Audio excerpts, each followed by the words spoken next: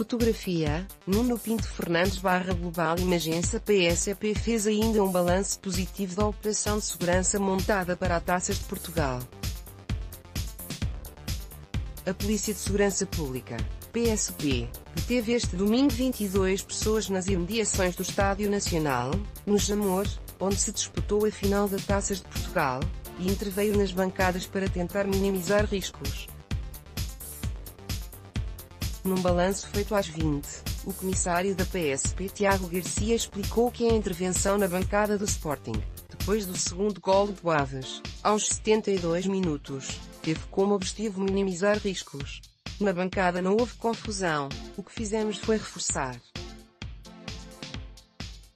A zona dos grupos organizados de adeptos do Sporting para tentar minimizar o risco no caso de alguns adeptos mais descontentes com o resultado, ou com a equipa, tentar entrar no relevado, o que não veio a acontecer, explicou Tiago Garcia. Segundo o comissário, das 22 detenções, 14 foram por posse de artefactos pirotécnicos, 5 por ofensa à integridade física de agentes da autoridade e 3 por especulação, venda ilegal de bilhetes.